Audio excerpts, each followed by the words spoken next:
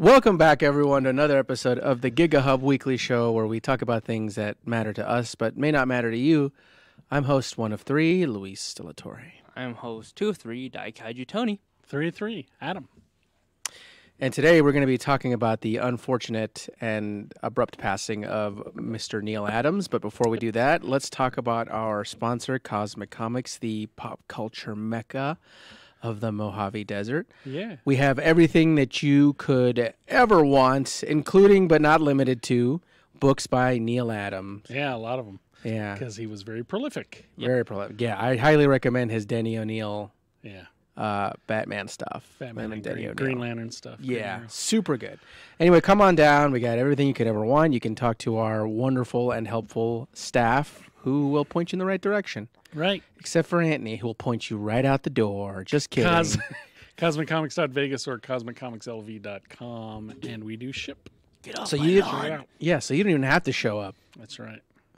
Anyway, All right. now that we're done with that, let's talk about Mr. Neal Adams. the man, the myth, the legend, Mr. Neal Adams. Right. Very avid convention goer, so I think we've all had a chance to meet him. Right? I've met I've him met him. Yeah. once I, when I I was, was lucky like- enough to work for him one year. I about think- three years ago, two, four years ago. You didn't know that? Oh, I think I think you did tell me that. Uh, you told me I that. I was For a either- con, yeah, it was over a weekend. Well, what convention was it? It was an amazing Las Vegas. I want to say f- three or four years ago now. That was the same one, not the same one, but that's the same convention I met him at, right? The Amazing Las Vegas. Same convention, yeah, different year. Right. Yeah. Yeah. Because the year you met him, I think I was working at a booth, Yeah, I think that's another booth. 2017. Yeah, that's. I think, I think that's when I met him. I probably saw you there and didn't know you yet. hmm Oh, he's probably a teeny tiny. He's probably a wee boy. So there's a there's a lot of good reasons why Neal Adams is a legend in the industry. Mhm. Um, probably the most obvious is he was incredibly prolific. He did a lot, a lot, a lot of different stuff. hmm Um, chances are, even if you don't know the name, you know of his work Yes. simply because he did a lot of advertisements for Saturday morning cartoons. Um, he was responsible for Batman in the 70s. Um, Yep. Yeah, pretty much. He, re- he revitalized Batman. He got away. He brought Batman back to a darker tone before Frank Miller thought about it. Mhm. Um, Denny O'Neil. Before it was even a glint in his yeah, eye. him and Denny O'Neil. Yep. Yeah. That Venom was one of my favorites. Yeah. Batman still wore blue, and um, Yeah. Joker was back to being super murderous. Yeah, super, super murderous. Yeah. Um, you know, they were trying to get away from the 60s television show a little bit because they knew something had to change. Yeah, you couldn't keep up the campiness of Right. the 60s show. Yep, a lot of skull imagery A lot of skull imagery. and graves. Um, Cool stuff. He also right drew a lot of, uh, he did a lot of like the, like Conan the Barbarian was another like big property that he had for he a very did, long yeah. time. One of the anecdotes he shared with me was that he, he used to get mad when he was asked to draw Conan because he was always given scripts where it was raining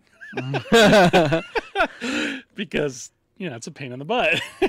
but he, I guess, he did it so well, which is you know a test testament to. The, I wish maybe I'll show it on camera. I have a print where it just looks amazing that he did where it's raining.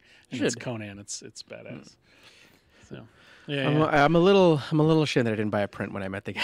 yeah. Oh, no. Unfortunately, yeah, I never got one. I think my dad had one thing signed from him. I think it was Batman Odyssey, which was Batman Odyssey was that um other Batman. It was a more modern Batman story, but Yeah. you could see him ride dinosaurs basically, Yeah. and Batman had no problems using guns. Right. Yeah. Oh, oh gosh. He, uh, Well, he wasn't certainly listen, I wasn't liked, afraid to nah, experiment. yeah. yeah, listen, I, I know this is supposed to be a, a, a positive tribute to Neal Adams. Unfortunately, Batman Odyssey is not. Hey, it's cool. You get to see Uh, Batman and Robin get gliders out of nowhere, and it works because of the tone of the story. Yeah, the you- art was great. You know and it- what? I mean, he was willing to experiment. Right? Sure, yeah. How much is he willing to experiment? Let me tell you about the time I met him. yeah. Yeah, that's a pretty funny, Um, funny I- anecdote. Yeah. I what was, what was it? Amazing Las Vegas. We were Yeah. at Amazing Las Vegas, and he was there along with a lot of other people who I got you to meet, Frank, which was I cool. believe. Yeah. Myself and uh, our friend Frank. Yeah. And when, uh, I got to go up, I got to talk to him. I got to shake the guy's hand. By the way, his hands are gigantic. He's got big old. He's mitts, got yeah. those big old meaty Catcher's mitts. mitts, yeah. yeah. Um, and I remember we were just having a conversation, and people were starting to like Uh, Gather. gather up by Neal Adams, Wow. and he once he had like a big enough group, and I and now that I think about it, I think he might have been trolling us. But then there's there's like a little part of me that's like, I think he was, Serious. I think he was like serious, and he was just seeing how it would go over like a little crowd. You know what I Maybe, mean? Like how trying to get his feelers out there Yeah, maybe. for this idea of a. Let me see if I can remember correctly. It's a, a It a Superman story. Superman I think story is what you guys told me. Yeah. where he had no powers or something like that, Yeah. or he was uh, he was born on Earth or something. It was it was really weird. Totally Uh, yeah. totally contrary to what Superman is. Is yeah. Like, and at first I I thought. This could be real. I mean, this seems like an idea someone would have, but like in a boardroom, you know what I mean? Like a pitch, like a movie pitch meeting. Like, what if Superman didn't have powers?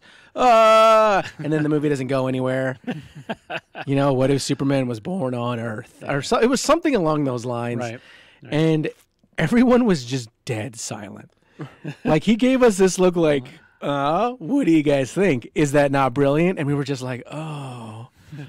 Do I tell this living legend Yeah. that it's not brilliant? Do I do I hate Neal Adams? I, Wow.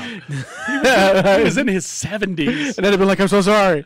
Um, I don't know what. I walked away a little confused that day, but I do remember after telling you, you were like, he's probably kidding. I'm like, yeah, you know what? He was probably kidding. like yeah, he it is sounds like he's kidding, yeah. probably joking. But then again, there's that little part of me where he's like, Maybe I wonder was, what people what do uh, people think. Let, let me let me try it out. Hey, this is my idea for a movie. It's, it's a dark and stormy night in Atlantis until the until the zombies attacked. And- Oh gosh, yeah, the zombie vampires. the zombie vampires. You want to talk about his more other famous works than his Batman ones, like um, Yeah, absolutely. Green Arrow and Green Lantern? Yeah, Oh, he yeah. was very influential on that run as well. especially in the 70s. the cover where Roy is. Uh, shooting up, yep, he has an Shooting eagle. up, shooting up. shooting up. Like, yes, very iconic. Look at the very iconic um, uh, drug PSA cover where Mm-hmm. he, uh, Green Arrow's ward was using heroin. Her- was it heroin? He was shooting. He was shooting up. It had to be He was heroin. shooting up, right? yeah, so it'd have to be heroin, Yeah. right? Speedy was a drug user. Sure, he was a drug, and that, that's the thing that they kept for a long time. Actually, yeah. um, I don't know if they have it now. Oh, with, with the, all the soft reboots and whatnot, but we're not going to get into that. Yeah. So yes, a very iconic DC cover. right. Um, He did a lot of iconic covers, honestly. Oh yeah, Um, Superman breaking the chains. yeah, some yeah, that's him. Superman versus Muhammad Ali is him. Yes. Which he that cover. What's unique about that cover is it's a very early example of kind of a Photoshop, but it was pre-Photoshop. They basically cut and pasted and, and sort of drew over celebrity images to oh yeah, because in the the bottom look, had a yeah. whole bunch of other celebrities. Yeah. Um, so there's that. Yeah. Um, some legendary Batman covers. He's responsible for. If you can think of a classic Batman cover with the Joker, Yeah. chances are he did it. right. um, he was also he did a lot of freelance work. He he often picked up slack on other artists when they were running behind or whatever. He just did random covers back in the day before that was really a. He's just one of the, I yeah. He was like one of those super. He's like a work. The guy was a He was workhorse. a work. He was a workhorse. Yeah. Yeah. Um, But you could you could you could leave him with with anything. You could give him anything. He Yeah, and do it. apparently he was very fast too, and which of course that makes a huge difference. Um, yeah, so I mean, he did a lot of stuff. The, you know, like I said, I had the opportunity to work for him over one convention. I wish I, I would have jumped at the chance to do it again, but I think I want to say the next amazing he didn't come that time.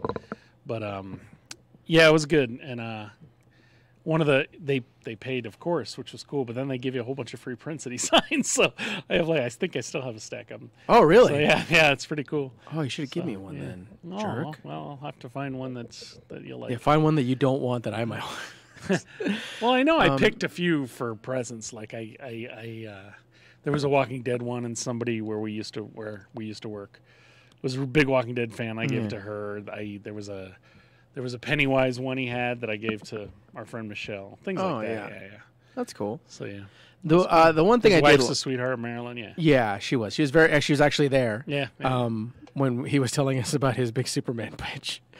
Um, his artwork was is by the way is just so good. Like it, it's just so reminiscent of a bygone era. You know what I mean? Like even when I was picking up Batman Odyssey, like even the covers of Batman Odyssey were like yeah, it's, 80s covers of like 80s Yeah. Batman's covers of his. You know? yeah, it's really hard to explain his influence on the medium. I mean, like so many of the images you see, even as I look over your head, Tony, it's just some of those covers, while they're not necessarily done by him, are variations of his style of cover that he did, hmm. that he was known for. Even that Warlock cover. I mean, that's very reminiscent of Superman cover. I mean, things like that. So I know mean, he did X Men for a little. yeah, he did. Um, so yeah, he just did a lot, a lot of work. I know he did some Tomb of Dracula work, stuff like that. He did Deadly Hands of Kung Fu. He did Deadly Hands Oh, of yeah. Kung Fu. Yeah, the Shang-Chi. early stuff when it was still a magazine. Actually. Yeah.